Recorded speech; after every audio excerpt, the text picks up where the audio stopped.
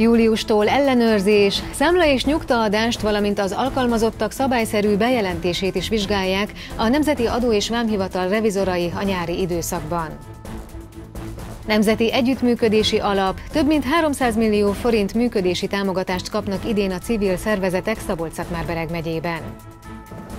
Fejlesztések Geszteréden. Két pályázatra összesen 183 millió forintot nyert a település. A topos forrásokat egy piactér kialakítására és csapadékvíz elvezetésre fordítják.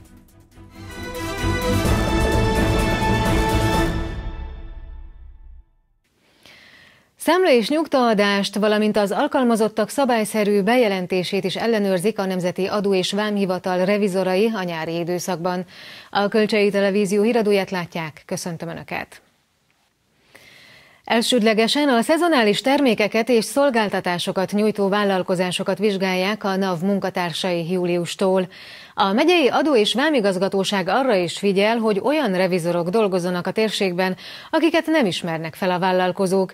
Ezért többek között Hajdúbihar és Jász-Nagykunszolnok megyéből is érkeznek majd ellenőrök. Legyen szíves a vadidő fegylatból 500 g a tégelybe Július 1-től indítja hivatalos nyári ellenőrzését a Nemzeti Adó és Vámhivatal Szabolcs-Szatmár-Bereg megyében is, tájékoztatta televíziónkat a megyei adó és vámigazgatóság sajtóreferense. Magyar Norbert elmondta, minden évben így most is a szezonális termékeket és szolgáltatásokat nyújtó vállalkozásokat ellenőrzik majd. Tavaly a nyári ellenőrzési akcióban 235 ellenőrzést végeztek el az operatív osztály munkatársai. Közel 40%-ukban állapítottak meg valamilyen jellegű hiányosságot.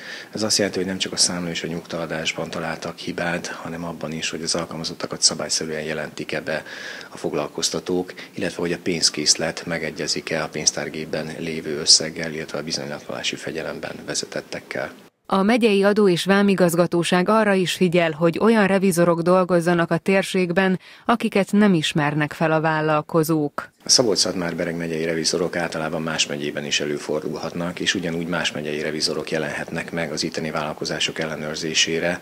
Ez azt jelenti, hogy ezekben a cseremegyés akcióban azokat az operatív ellenőröket próbáljuk meg bevonni, akiknek az arca kevésbé ismerős a vállalkozások számára, tehát akár Hajdú-Bihar megyéből, akár jász Szolnok megyéből érkező revizorok is megjelenhetnek ezekben a fesztiváli környezetekben, vagy azoknál a szezonális árusoknál, akik ebben az időszakban megnövekedett forgalommal számolhatnak. Nem csak a NAV, többek között a NÉBI és a megyei kormányhivatal élelmiszerlánc biztonsági és földhivatali főosztályának munkatársai is ellenőriznek nyáron. A revizorok szinte bárhol vizsgálódhatnak, leginkább az idegenforgalmi szempontból frekventált helyeket keresik fel, például éttermeket, fagylaltozókat, fesztiválokat.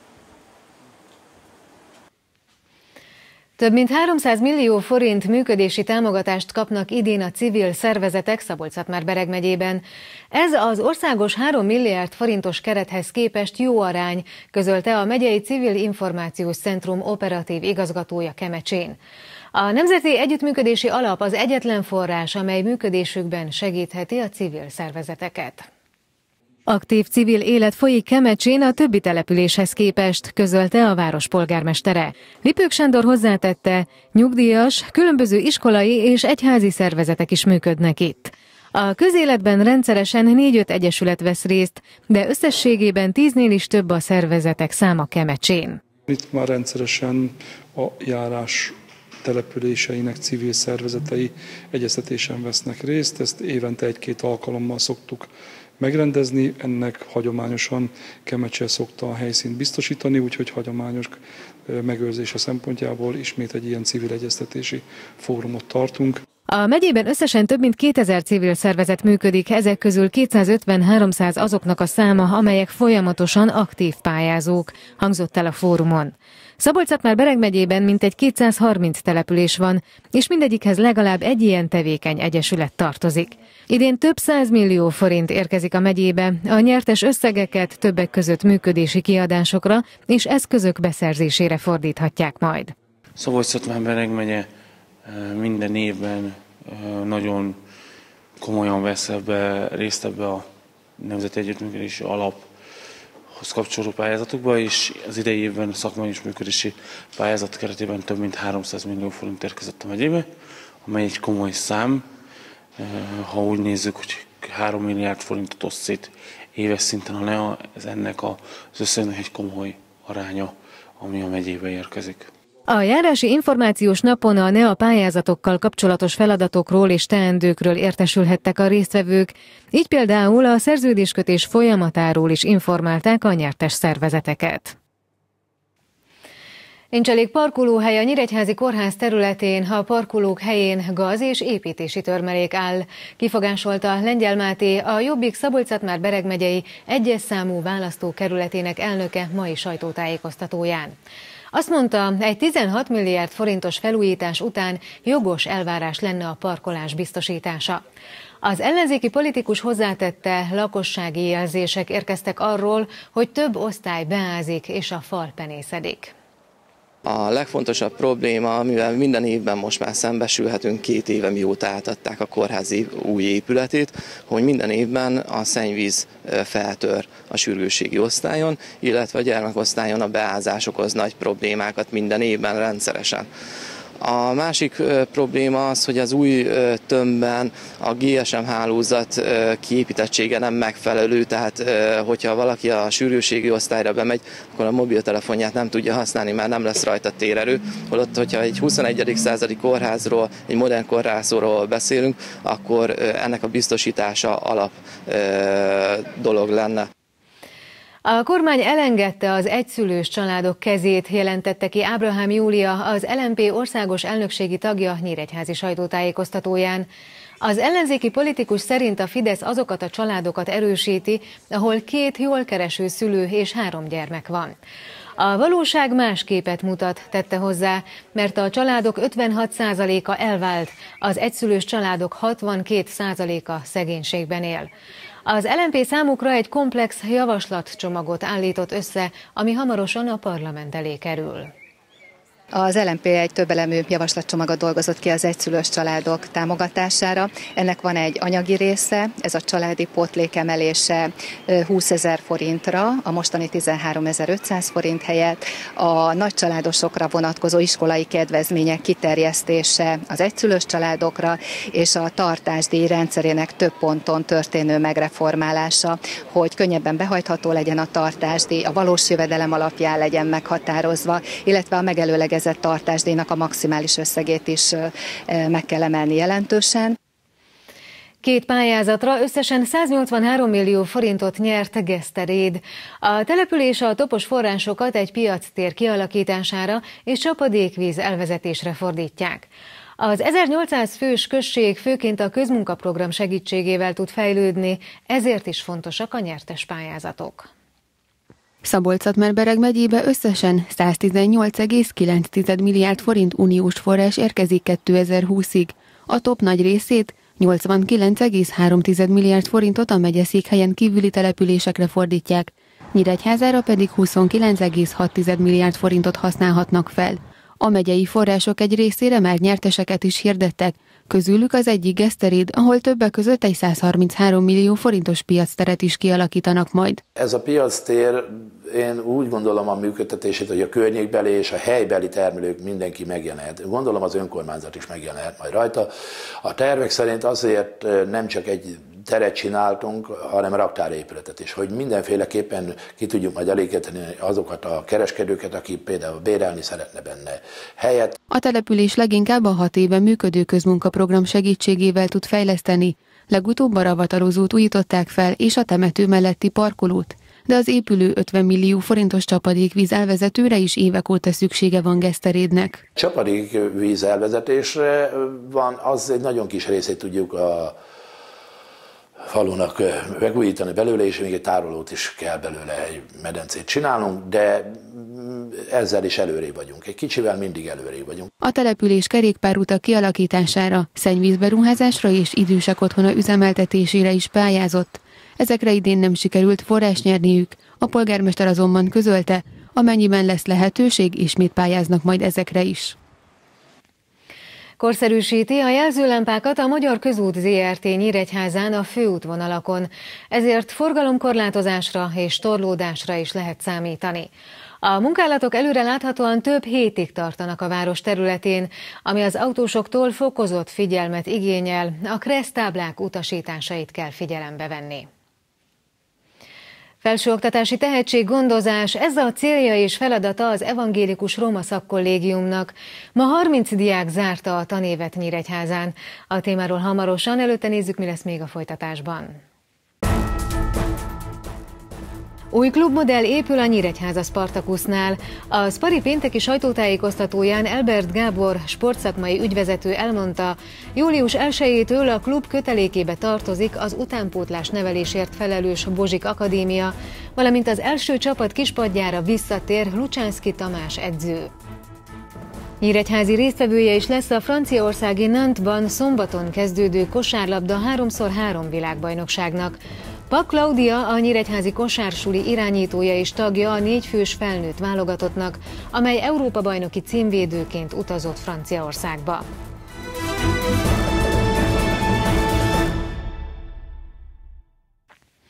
Felsőoktatási tehetséggondozás, ez a célja és feladata az Evangélikus Roma Szakkollégiumnak. Ma 30 diák zárta a tanévet Nyíregyházán, ők három kiemelt területen képezték magukat tovább az elmúlt hónapokban. A legnépszerűbb a roma kulturális modul, de van spirituális és közismereti ágazat is. Így ebben a tanévben is a felsőoktatásban szerzett tudásukat bővítették a szakkollégisták. Hetedik tanévét zárta az Evangélikus Roma Szakkollégium Nyíregyházán, emlékeztetett a Keresztény Roma Szakkollégiumi Hálózat elnöke. Minden szakkollégiumnak vannak képzési feladatai, hogy a hallgatók, akiknek felsőoktatási hallgatói jó kell, hogy legyen, és van egy választott szakjuk, hogy tanár, vagy egészségügyi, vagy szociális munkás, hogy ezen a saját szakterületén a lehető legjobb szakemberré váljon. Tehát ebben próbáljuk segíteni egy, egy tutori rendszerrel, és a, a, a másik, hogy, hogy a társadalmi felelősségvállalásnak a, a része, hogy, hogy olyan értelmiségiekké váljanak, akik a saját környezetükben, vagy a saját szakterületükön ezt a fajta együttműködésben ér, érdekelt, vagy érintett, vagy elkötelezett emberek, emberek legyenek. Most 30 diák zárta a tanévet Nyíregyházán, köztük Mursa Zsolt. Ő a Nyíregyházi Egyetem képi ábrázolás szakos hallgatója, alkotásait a tanévzáron mutatta be társainak, tanárainak. Roma fiataloknak elég sok mindent ad ez a szakkollégium, mert hogy nyelvet lehet tanulni, ösztöndíjat kapunk, és különböző kirándulások, kirándulásokra is visznek minket.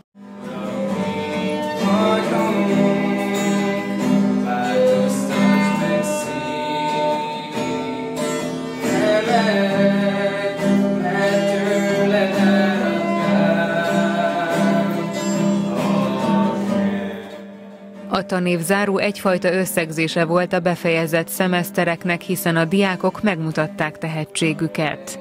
A Debreceni Egyetem egészségügyi karának egészségügyi szervezős hallgatója vagyok, és az Evangélikus Roma szakkollégiumnak egy éve vagyok a tagja. Azért tartom jónak a szakkollégiumot, mert uh, rengeteg tréning lehetőséget biztosít, a nyelvtanulási lehetőségeket, de számomra a legnagyobb pozitívum az, hogy egy olyan közösségben lehetek, ami tényleg szinte baráti testvéri viszonyt alakít ki közöttünk.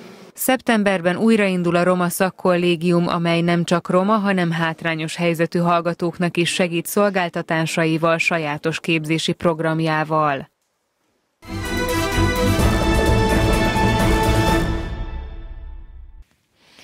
Új klubmodell épül a Nyíregyháza Spartakusznál. A Spari pénteki sajtótájékoztatóján Elbert Gábor, sportszakmai ügyvezető elmondta, július 1-től a klub kötelékébe tartozik az utánpótlás nevelésért felelős Bozsik Akadémia, valamint az első csapat kispadjára visszatér Lucsánszki Tamás edző.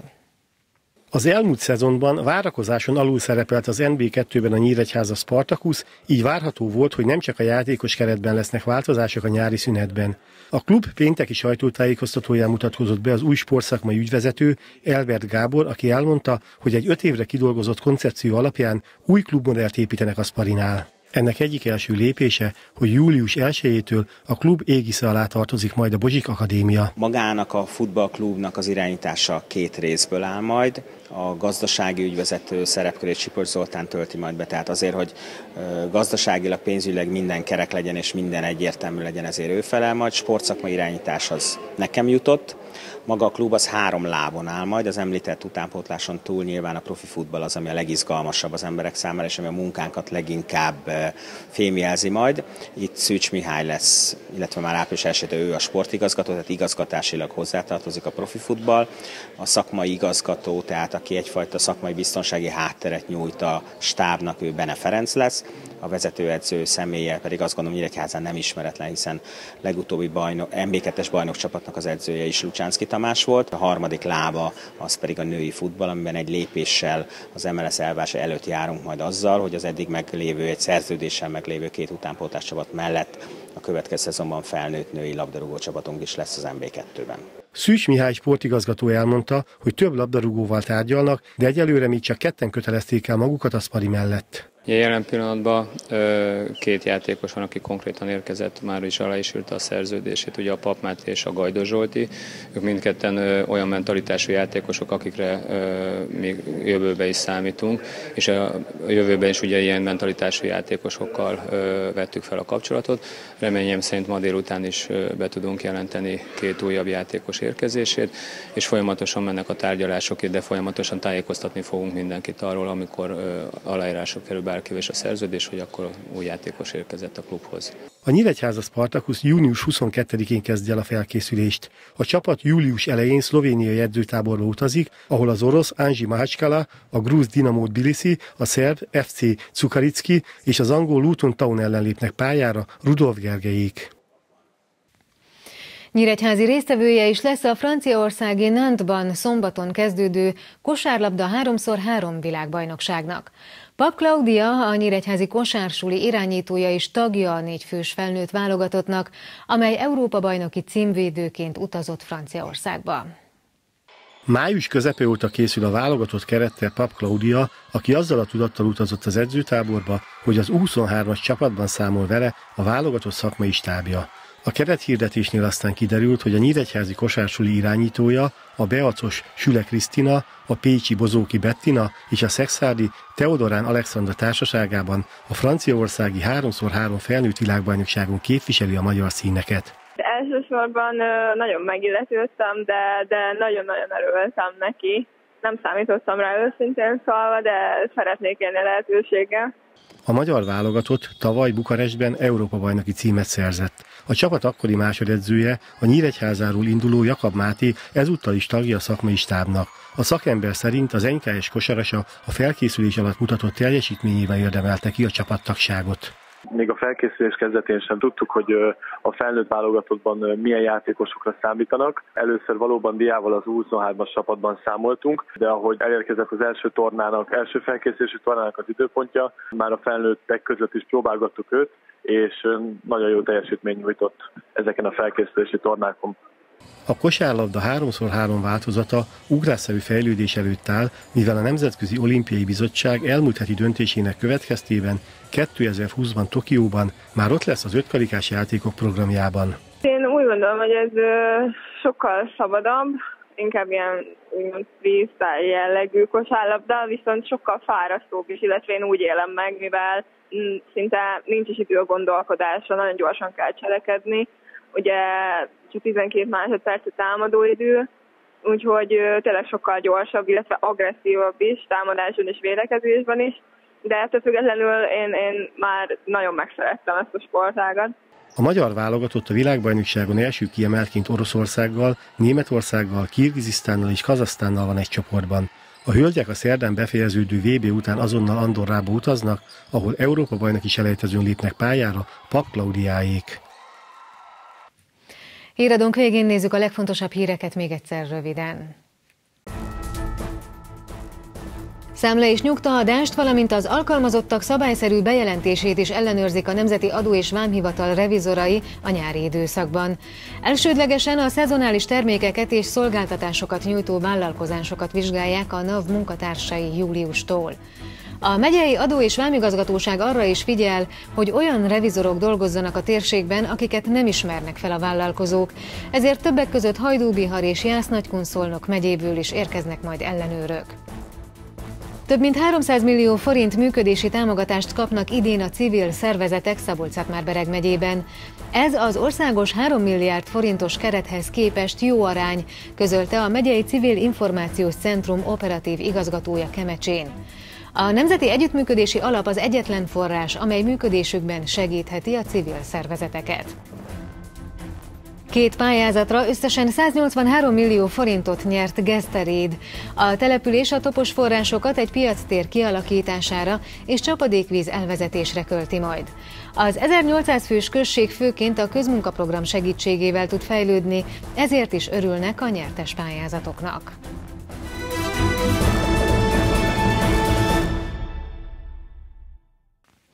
Önök a Kölcsei Televízió híradóját látták június 16-án pénteken. Friss hírekkel legközelebb hétfőn este várjuk majd Önöket, hétvégén pedig heti hírösszefoglalónkat, a krónikát láthatják. Tudósításainkat elérik honlapunkon is.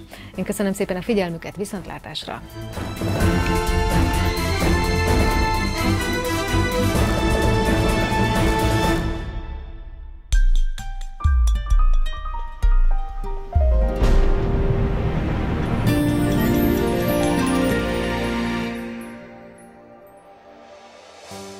Holnap hűvös, változékony időre van kilátás. A mai hidegfront után éjszaka egy magassági hidegörvény éri el térségünket, melynek hatására holnap sokfelé szeles idő várható záporokkal, zivatarokkal.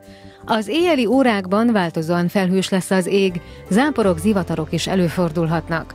Az északnyugatira forduló szél megélénkül helyenként megerősödik, zivatarok környezetében átmenetileg viharossá fokozódik. Reggelre általában 13 fokig csökken a hőmérséklet.